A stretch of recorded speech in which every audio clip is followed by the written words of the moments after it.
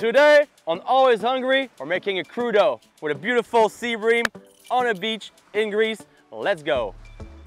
So first step, I want to get the scales of this fish with a knife. You can just kind of like run it down like this and put scales everywhere. Obviously, on a beach is better because you don't get shit all over your kitchen. So yeah, just scrape it all. And this is gonna make our fillet job way easier. See this? Okay, so now all their scales are off. Next step is to empty the fish, take the guts out. But you know what? We won't do this on camera because you guys don't deserve it. Also, it's not very pretty. So I'm just gonna empty this guy, rinse it off in the water, and then come back for the fillet.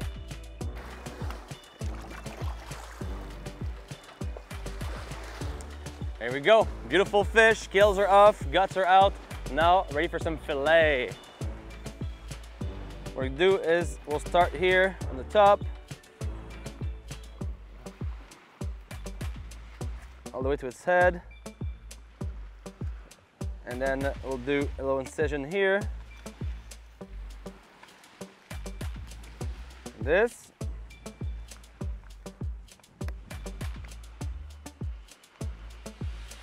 You just want to follow the spine all the way down. And then you want to just lift your fillet like this. Always following your natural lines. You guys want to see inside a little bit. That's the sound you want to hear. Just close to the bone, baby. This. And now once that's done, you can come here. And just follow your bone all the way down.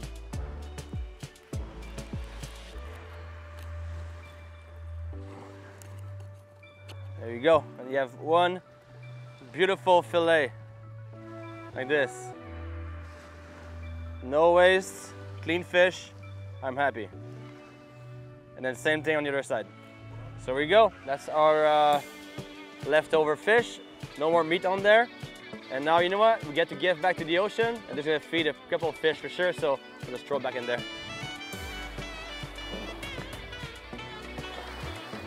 Little uh, lancé.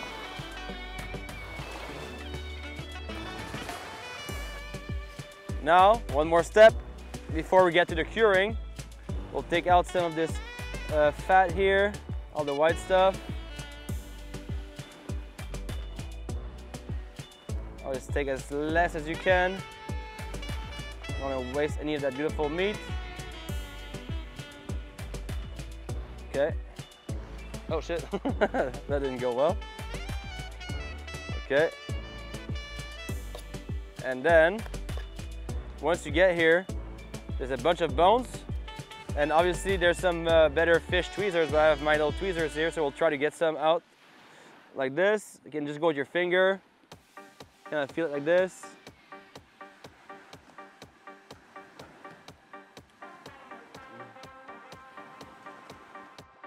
So my uh, tweezer is not doing the job to take the bones out. So what I'll do is I'll just kind of like work around it. So I'll do some fillet around the bones and we can do some crudo slices with this. I'll just take the skin off first like this.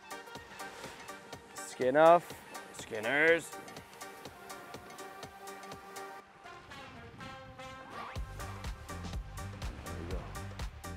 Just let your work, just let your knife do the work. Slide it down.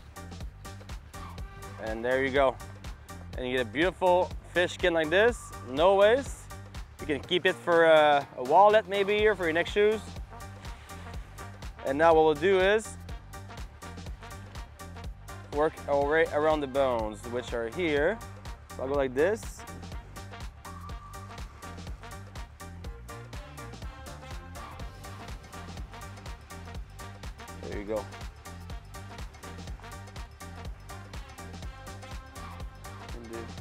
Here. Okay. So now all the bones are here. You want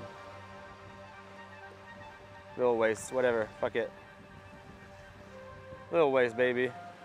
Okay, so now we kind of went around the bone. This does a bit more uh, waste for sure, but you know what? Sometimes you're on a beach and you have to go with what you have, so. So we'll do the same with the next fillet. Okay, next step, we have our fillet here of fish, and we're gonna do a quick cure. Uh, we usually do like a mix of 50-50 uh, sugar and salt, but now we only have salt, so I just go lighter on the salt. So just some fine salt on top. And what this will do is not only enhance the fish flavor, but also it will firm up the, the flesh. So we'll have a nicer, nicer bite to the fish. You can do this up to like 15 minutes. Uh, in Japan, sometimes they'll do it like between some seaweed uh, to get a nice uh, flavor in there. But just salt is fine and you can do it on both sides like this. And once we're done with the curing, we'll rinse it under fresh water and we'll be good to do our slicing. And you'll see a fair amount of moisture coming out of the fish as it cures. This should be good. There you go. Okay, so now for the crudo, keep it very simple. I have a beautiful red onion here. I have some beautiful prunes, a grapefruit, parsley. So you don't want to go crazy with the garnish, so we'll just do tiny sliced onion like this. Want to get the core off like this. A little more here. Okay. I'll just do half an onion, that's perfect. And then here you can just kind of like cut it real, real thin.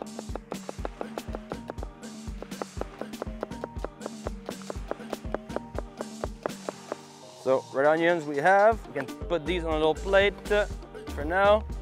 There you go, so onions in. You kind of break them down like this too. And then we'll keep going with our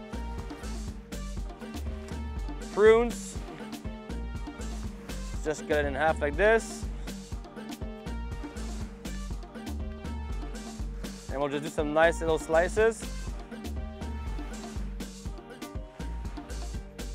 Just like this.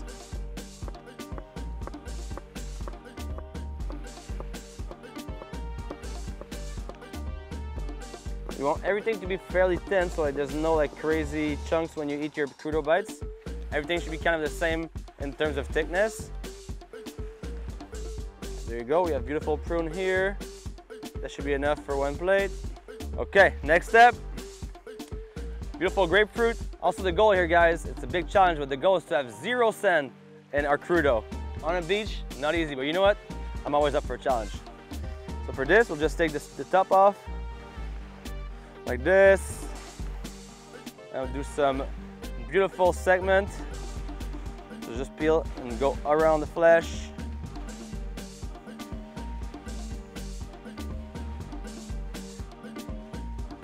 I always try to go for one piece. Take your time, but hurry up because the sun's coming down. And I can just cut this part off as well. And here you go. You have a long grapefruit slinky. And you can just kind of like suck it and trash it. And now take all the skin, the, the white, the white of the grapefruit like this make it nice. You know, we're on a beach, but we can make things nice, right? There's no rush, except for the boat guy.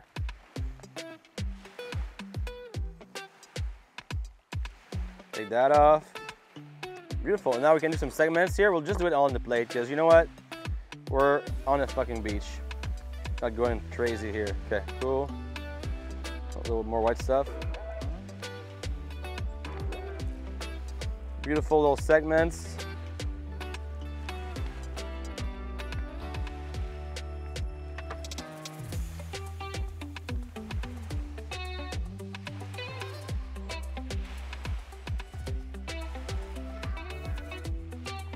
So now all this juice in there, you don't want to waste it. So I have this uh, plastic container, not very eco-friendly, but you know what? Sometimes you're on a beach and you have to go with what you have. So just squeeze that in there.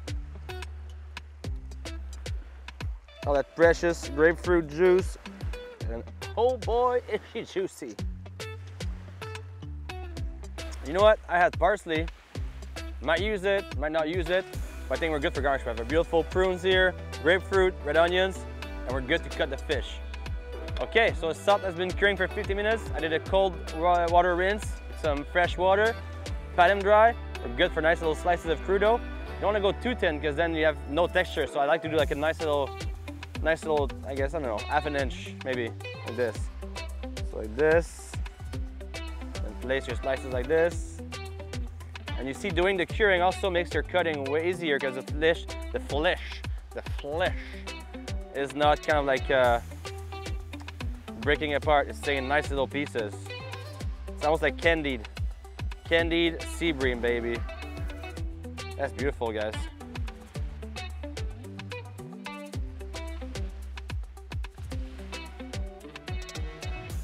So now all the hard work is done. Now it's plating time. So we'll take our nice little tweezers, because you know, we're on the beach, we're still not animals.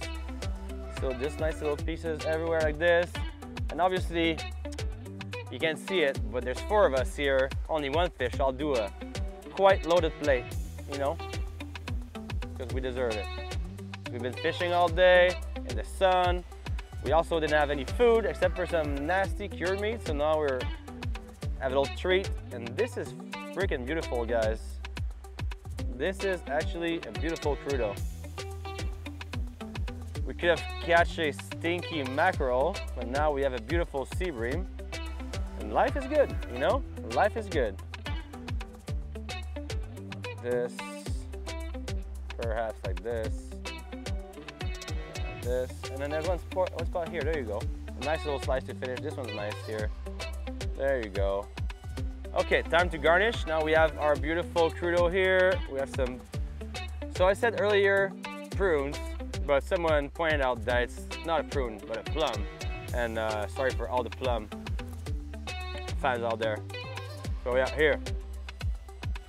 Some pieces here. And when you do a crudo, when you make a crudo, there's no rule. Just place everything. If it feels right, it feels right. If it feels wrong, you know, just put it somewhere else. For me, I like when it's like a natural vibe, you know? Slices there, slices here.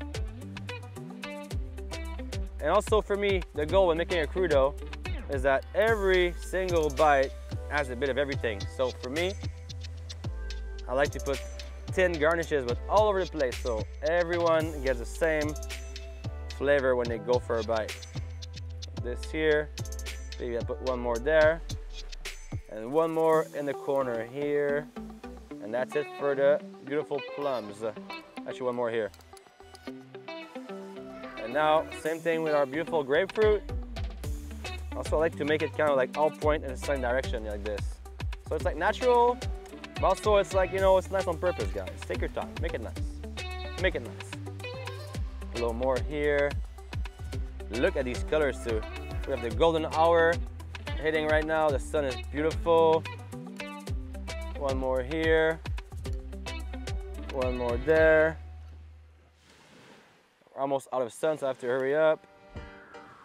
And this here. Pretty good. And now some onions as well. I go with my hands.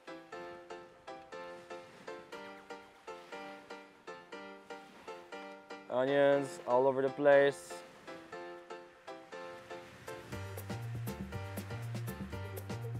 Make sure they're nicely sliced very thin so it's not too pungent when you bite into it and over flavor the fish.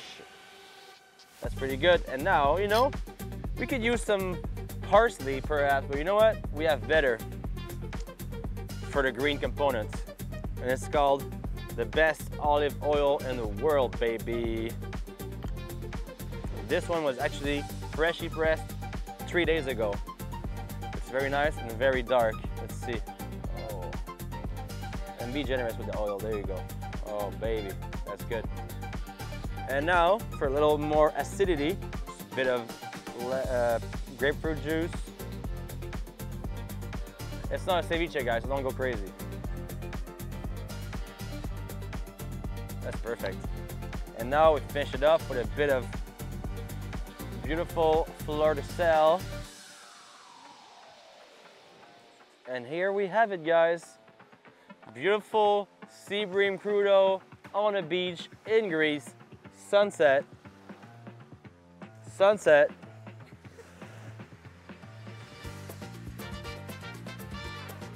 And you know what? we don't even have cutlery because we honestly didn't even think we were gonna catch a fish. So now I have these tweezers here. And now, for my favorite part of every single episode, it's tasting time with tweezers. All right, I'm gonna make the perfect bite here. Little grapefruit. Oh, wow, look at this. That camera, that camera, this camera, that camera. Good to go? Oh fuck, it's leaking. Okay, here we go.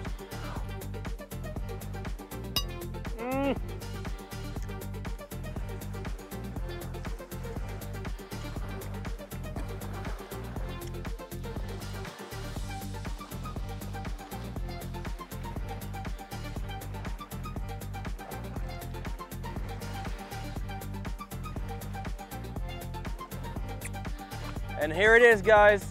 If you enjoyed episode of Always Hungry, please leave a comment, like, subscribe, and we'll see you on the next episode of Always Hungry.